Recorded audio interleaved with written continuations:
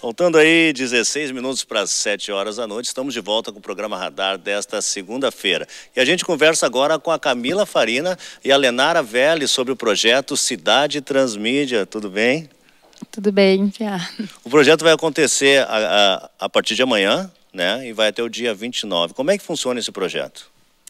Bom, é, o projeto, na verdade, como o nome já diz, ele é um projeto que usa várias mídias para falar sobre personagens né, que vão circular pela cidade de Porto Alegre.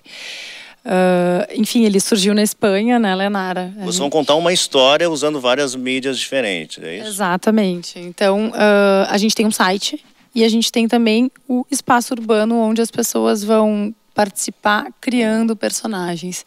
É, para isso, uma oficina. Certo. Então, em cada cidade que a gente vai, a gente faz uma oficina, justamente para aumentar esse nosso coletivo Cidade Transmídia. E essa oficina vai durar quatro dias, né? Quantas pessoas envolvidas? Como é que funcionam os grupos? Bom, a gente vai ter 20 participantes, eles uhum. se dividem em quatro grupos, de cinco pessoas cada uma, e cada grupo vai criar um personagem. Esse personagem tem um olhar todo especial, sobre a cidade. Eles vão explorar os recantos da cidade, buscar trajetos e depois vão trazer o resultado disso através de vídeos, fotos, intervenções urbanas, textos e outras mídias. Uhum. E as pessoas já estão inscritas, já. E, e quem, quem, quem é esse público que se inscreveu para participar desses, desses grupos? É interessante isso, né? Porque Porto Alegre foi recorde de inscrição. Olha que legal. Então no Rio Grande do Sul a gente teve, uh, a gente fez esse projeto em Pelotas, Caxias, Santa Maria uhum. e agora vamos vamos finalizar em Porto Alegre, né?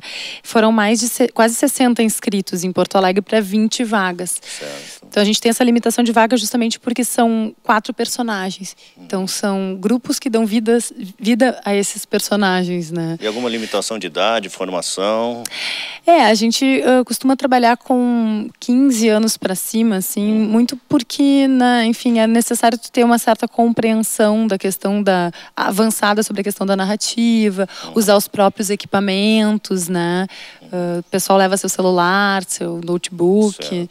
né? E usa esse equipamento para o projeto. E a partir de quando as pessoas vão poder acompanhar isso pelo site? Ou pode ser acompanhado também ao vivo, no, lá naquele local da cidade que foi escolhido? Desde já, o site já está no ar, ele já tem as edições anteriores, já tem algumas coisas acontecendo, e a partir do primeiro dia já, a gente já começa a publicar. Tem uma equipe que faz a documentação, uhum. então tem um vídeo que é feito tipo um resumo de cada dia, que já entra no ar também. E os personagens têm páginas, cada uma tem o seu que pode ser acompanhado. A fanpage, né? Uhum. E o próprio projeto tem na né? facebook.com.br cidade transmídia. Então, uh, a gente já tem aí né, uma repercussão bacana desse projeto nacionalmente. E cabe lembrar que ele foi premiado, né? A gente só está realizando ele porque a gente tem esse apoio da Lei de Incentivo à Cultura e uh, a LIC, né, uhum. Pro Cultura, Rio Grande do Sul, e também porque ele foi premiado pelo edital da Claro, ele ficou entre os uh, quatro projetos uh, nacionais, né, de mais destaque, entre mais de mil projetos inscritos no, no edital. Então, isso é bem bom, né? Legal, legal. Quero agradecer a presença de vocês no programa Radar. Boa sorte no projeto. E a gente põe depois aí na nossa fanpage do Radar, a gente põe ali os endereços para o pessoal poder conferir ah, e acompanhar. Legal, muito bom. Fica o convite para todo mundo aparecer lá na Casa de Cultura no dia 29, sexta-feira, às 18 horas, que os grupos vão falar sobre os personagens. Então, é aberto, né? É gratuito e tá todo mundo convidado. É, apareçam no nosso encontro aberto sexta. Legal, obrigado. E a gente confere agora mais uma participação musical da banda Imórbita aqui no estúdio do Radar.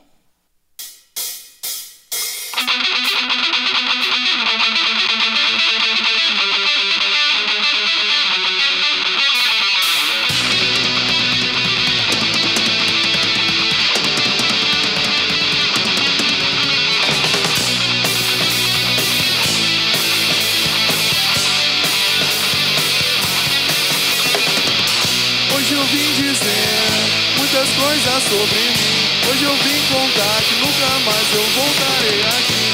Eu imaginei um mundo bem melhor e realizei um futuro bem maior.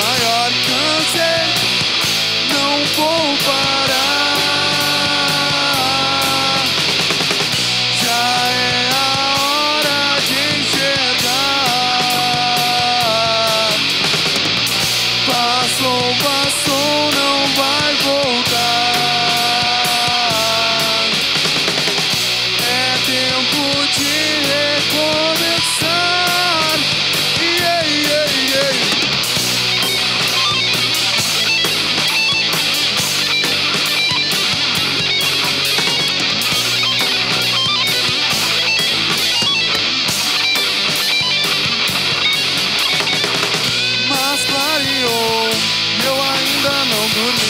Fazendo planos que dia eu ainda vou cumprir. Com coragem de lutar, com vontade de seguir, com as regras que quiser, mas nunca vou desistir. Cansei, não vou parar. Já é a hora de enxergar. Passou, passou, não vai voltar.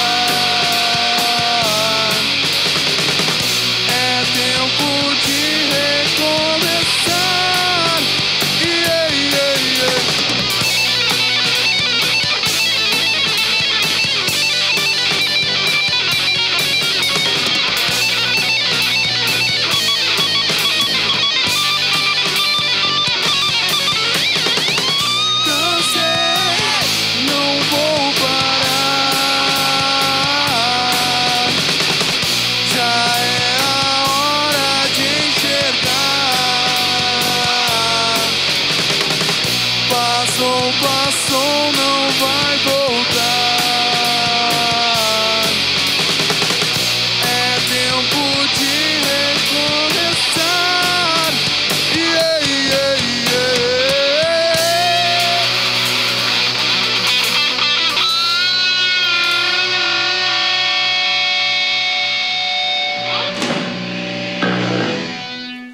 É isso aí, esse é o som da banda Imórbita no radar dessa segunda-feira. Tudo bem, pessoal? Tudo ótimo.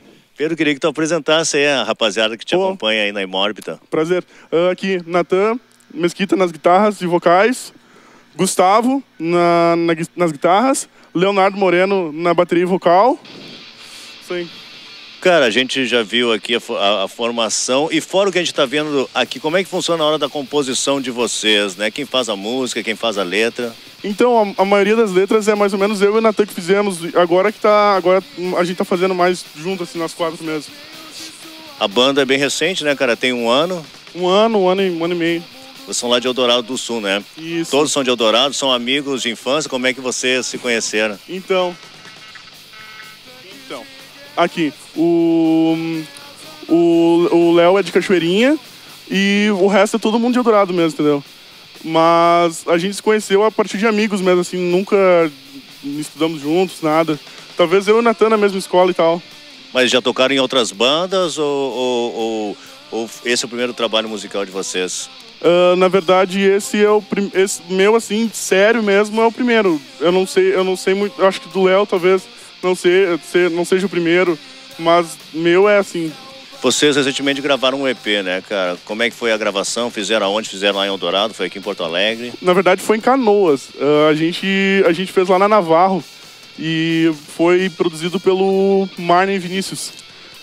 Foi, foi, bah, foi, ficamos quatro meses em estúdio gravando isso. Foram, a gente, a gente chegou com músicas prontas lá e depois a gente meio que reestruturou todas elas lá no estúdio, sim. Foi bem legal. Legal, quero agradecer a presença de vocês no radar de hoje e vou pedir para vocês fazerem mais um som. O que, que vocês tocam agora? Essa próxima é Cegueira. Inclusive tem o vídeo dessa música também, né? Tem o vídeo. Já está disponível na internet. Isso. Tá disponível no YouTube.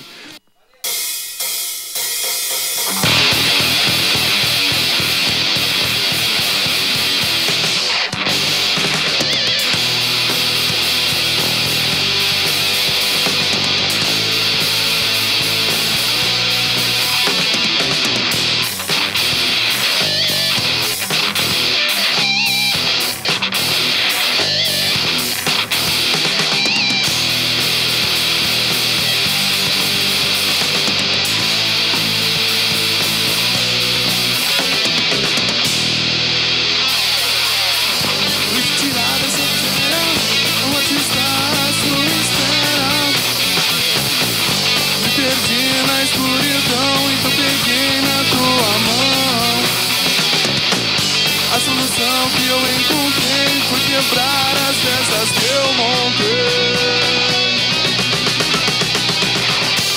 De tudo que passou e as mentiras que eu contei para você. As mentiras que eu contei são no passado que eu mesmo criei.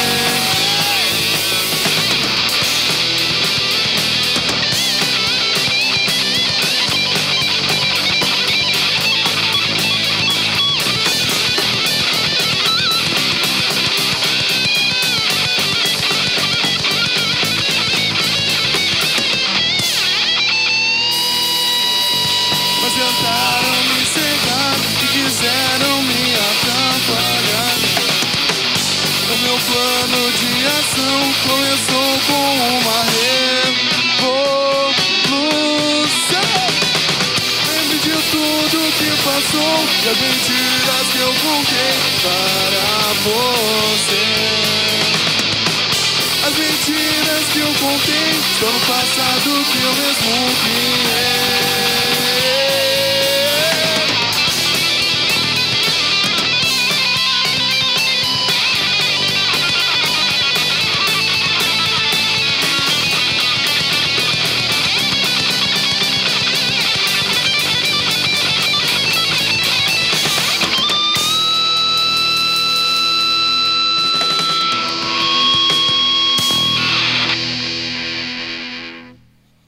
E essa foi a participação da banda Imórbita nessa segunda-feira no Radar. E hoje também nós recebemos o Tiago Ramil para gravar o quadro Estúdio Radar. Ele passou por aqui e deixou um convite que a gente confere Agora, antes do convite, eu já vou me despedindo. Lembrando que o Radar, amanhã, seis e meia da tarde, direto aqui ao vivo da TV. Esse programa é reprisado também às duas e meia da manhã. Vai mais um convitezinho aí. Daqui a pouquinho, logo após o final do Radar, tem Cidadania de volta ao vivo. O tema de hoje é diversidade sexual e de gênero. Você confere então aí a dica do Tiago Ramil. Valeu? Até mais.